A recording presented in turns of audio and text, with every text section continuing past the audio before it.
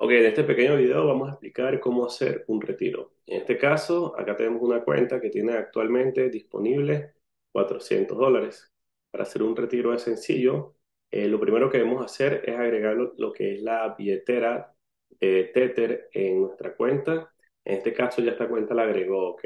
Este, en el caso de las personas que sea por primera vez, es importante que agreguen su billetera, que sería la de Tether con extensión Tron. Nos vamos entonces, ya al tener esto listo, nos vamos a la parte de finanzas, nos vamos a la opción que dice Withdraw, que es retiros. Y aquí simplemente nos dice las opciones que tenemos nosotros de las carteras donde tenemos dinero disponible para retirar. En este caso, vamos a usar la cartera de los retiros donde cae el dinero del rendimiento del arbitraje diario, ¿ok? Y como esta cuenta se va a retirar todo, vamos a dejar entonces la misma cantidad acá, 384 y le damos withdraw, que es retirar.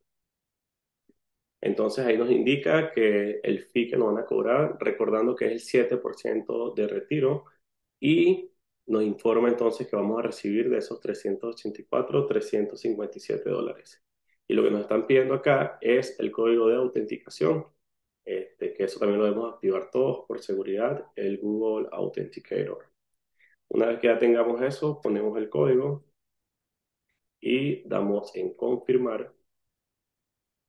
Y acá nos salió inmediatamente que el retiro ha sido solicitado exitosamente y nos muestra en cierto modo un detalle del retiro acá, que eso nos va a quedar en nuestros historiales, ¿ok? Y acá el estatus este, va indicando, en este caso está pending porque lo acabamos de realizar, y una vez que ya recibimos el retiro en nuestra billetera, debería cambiar a active, de activo. Bueno, eso es todo en cuanto a los retiros. Seguiremos haciendo más tutoriales de estos.